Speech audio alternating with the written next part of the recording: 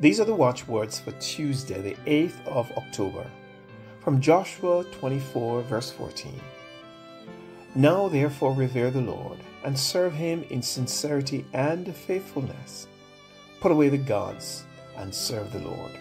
Now therefore revere the Lord, and serve him in sincerity and in faithfulness. Put away the gods, and serve the Lord. And then from Galatians 4, verses 8 to 9. Formerly, when you did not know God, you were enslaved to beings that by nature are not gods.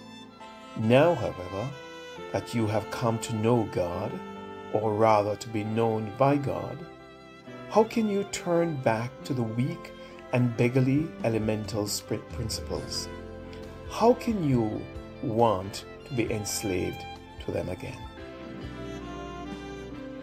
God reveals His presence, let us now adore Him and with awe appear before Him. God is in His temple, all in us keep silence, and before Him bow with reverence. Him alone, God we own, He's our Lord and Savior. Praise His name forever. Dear Lord, help us to focus our lives again on your glory and power.